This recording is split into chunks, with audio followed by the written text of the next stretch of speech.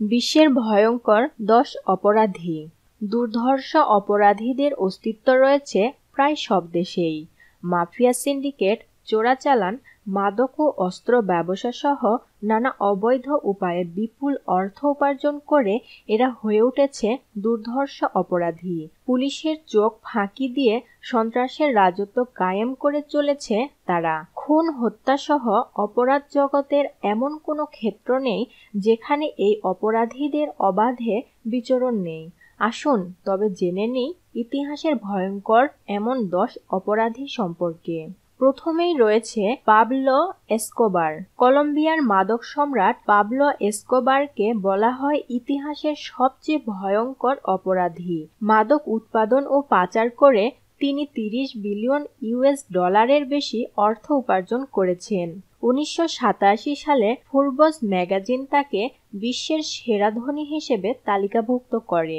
উনিশশো একানব্বই সালে আত্মসমর্পণ করলেও উনিশশো বিরানব্বই সালে জেল থেকে পালিয়ে যান পাবলো। পরে দুই ডিসেম্বর উনিশশো তিরানব্বই সালে সার্চ ব্লক জেল পলাতক পাবলোকে খুঁজে পাওয়া যায়। ছাদ থেকে পালাতে গিয়ে পাবলো গুলিবিদ্ধ হন এবং মৃত্যুবরণ করেন। এর পরে রয়েছেন আল কাপুনে। গ্যাংস্টার সাম্রাজ্যে আল কাপুনে ছিলেন ব্যাপক আলোচিত।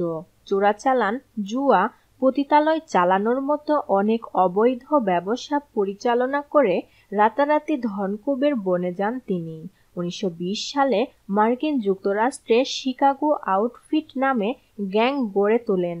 সমাজসেবায় প্রচুর অর্থ সম্পদ খরচ করায় সাধারণ মানুষের চোখে তিনি ছিলেন রবিন হুডের মতো। উনিশশো সালের পঁচিশ জানুয়ারি হৃদরোগে আক্রান্ত হয়ে নিজ বাসাতেই মৃত্যুবরণ করেন তিনি। দাউদ ইব্রাহিম। শীর্ষ দ্বন্দ্বের তালিকায় দাউদ ইব্রাহিমের অবস্থান উপরের দিকেই। অবৈধ নানা উপায়ে তিনি প্রচুর সম্পদ গড়ে তোলেন। মুম্বাই এই ডি কোম্পানি নামক সংগঠিত অপরাধ চক্র ও সিন্ডিকেট প্রতিষ্ঠা করেন দাউদ ইব্রাহিম। ভারতের মুম্বাইয়ে উনিশশো তিরানব্বই সালে বোমা বিস্ফোরণের ঘটনাগুলোর পেছনে দাউদ ইব্রাহিমের সংশ্লিষ্টতা থাকার অভিযোগ রয়েছে। এরপর উনিশশো তিরানব্বই সাল থেকেই পলাতক আছেন তিনি। অনেকের মতে দাউদ ইব্রাহিম পাকিস্তানেরই কোথাও লুকিয়ে রয়েছে। এল চাপো, পৃথিবীর শীর্ষ সন্ত্রাসী জোকোইন আর্চি ভালদো গুজম্যান লোরা ওরফে এল চাপো মেক্সিকোর কোকেইন সম্রাট নামেই তিনি সারা বিশ্বে পরিচিত। শেষবার যখন তিনি জেলখানা থেকে পালিয়ে বের হন, প্রথমেই টুইটারে ডোনাল্ড ট্রাম্পকে নিয়ে একটা টুইট করে বিশ্ববাসীকে জানিয়ে দিলেন তার ঘরে ফেরার কথা। তবে তার এই মুক্তিজীবনের শেষ হয় দুই হাজার ষোলো সালের আট জানুয়ারি। নিজ প্রদেশ সিনালোয়ার লস মাচি শহর থেকে তাকে গ্রেপ্তার করেন মেরিন সেনারা। Luis Garavito. ইতিহাসের অন্যতম কুখ্যাত খনির নাম লুইস গারাভিত। কলম্বিয়াতে সে লা বেস্টিয়া বা পশু নামে পরিচিত। সন্দেহ করা হয় সে কমপক্ষে চারশো জনের উপরে মানুষ খুন করেছে। উনিশশো সাতান্ন সালের পঁচিশ জানুয়ারি কলম্বিয়াতে জন্ম নেওয়া এই খুনি উনিশশো সালে সবচেয়ে বেশি খুন করে। কলম্বিয়ার আইন অনুযায়ী সর্বোচ্চ তিরিশ বছরের সাজা হয় তার।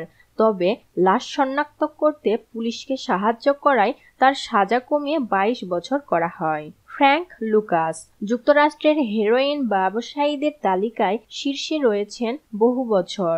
উনিশশো সালের নয় সেপ্টেম্বর জন্ম নেওয়া এই কুখ্যাত মাদক ব্যবসায়ী পৃথিবীর অন্যতম শীর্ষ কালো টাকার মালিক। দক্ষিণ পূর্ব এশিয়া ও যুক্তরাষ্ট্রের হেরোইনের চালান পুরোটাই নিয়ন্ত্রণ করতেন তিনি। গাছের গুড়ির ভেতর থেকে শুরু করে মৃত মানুষের কফিনে ভরে হেরোইন পাচারের খাতি রয়েছে তার।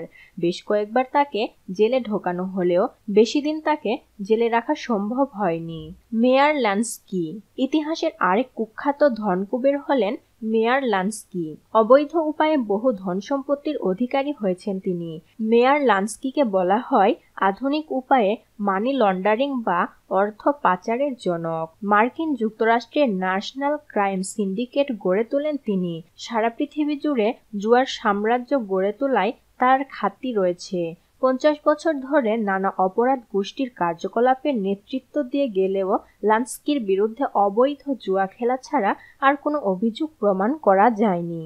Lucky Luciano. লাকি লুসিয়ানো ছিলেন আমেরিকান ইতালিয়ান একজন গ্যাংস্টার, যাকে আধুনিক যুক্তরাষ্ট্রের সংঘবদ্ধ অপরাধ চক্রের জনক বলা হয়।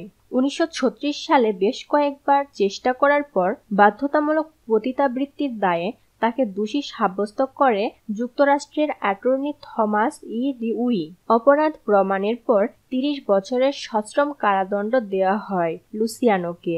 অপরাধ প্রমাণের পর তিরিশ বছরের সশ্রম কারাদণ্ড দেওয়া হয় লুসিয়ানোকে। কিন্তু ইতিমধ্যে দ্বিতীয় বিশ্বযুদ্ধ শুরু হয়ে যাওয়ায় অভ্যন্তরীণ একটি চুক্তির মাধ্যমে যুক্তরাষ্ট্রের বাহিরে একটি জায়গায় দ্বীপান্তরিত করা হয় তাকে। Enoch Johnson. Enoch Johnson New জার্সির অ্যাটলান্টিক সিটির রাজনৈতিক নেতা। বিভিন্ন অবৈধ কর্মকাণ্ডের সঙ্গে তিনি জড়িত ছিলেন। প্রজাতান্ত্রিক মেক্সিকান কমিটির আটলান্টিক কাউন্টির শেরিফ হওয়ার পর থেকেই তার ক্ষমতা আরও বাড়তে থাকে। আটক হওয়ার আগ পর্যন্ত আটলান্টিক সিটির রাজনৈতিক যন্ত্রের পুরোপুরি অপব্যবহার করে অ্যানক জনসন। আটক হওয়ার আগ পর্যন্ত আটলান্টিক সিটির রাজনৈতিক যন্ত্রের পুরোপুরি অপব্যবহার করে এনক জনসন। তার একটি ব্যক্তিগত সংস্থা ছিল, যাদের প্রধান কাজ ছিল জুয়া এবং পতিতাবৃত্তিতে দেশকে সামনে এগিয়ে নিয়ে যাওয়া। উনিশশো একচল্লিশ সালে আটক হন তিনি। গ্রিসেলডা ব্র্যাঙ্কো, কোকাইন গডমাদার হিসেবে বহুল পরিচিত মিয়ামির এই মাফিয়া নারী। শৈশব থেকে বয়সন্ধি কাল পর্যন্ত পকেট কাটা আর পতিতাবৃত্তি ছিল গ্রিসেলডা ব্ল্যাঙ্কোর প্রধান পেশা। এক পর্যায়ে ফেডারেল ড্রাগ ষড়যন্ত্র মামলায় তাকে অভিযুক্ত করা হয় এবং দশ বছরের কারাদণ্ডে দণ্ডিত করা হয়। গোপন সহচরদের সহায়তায় জেলে বসেও দিব্যি তার কোকেইন ব্যবসা চালিয়ে যান ব্ল্যাঙ্কো। দুই হাজার দুই সালের জুন মাসে ছাপ্পান্ন বছর বয়সে হৃদযন্ত্রের ক্রিয়া বন্ধ হয়ে কারাগারেই মৃত্যুবরণ করেন তিনি। এরকম আরও নতুন নতুন তথ্য পেতে আমাদের চ্যানেলটি এখনই সাবস্ক্রাইব করুন। আমাদের সাথে থাকুন। ধন্যবাদ।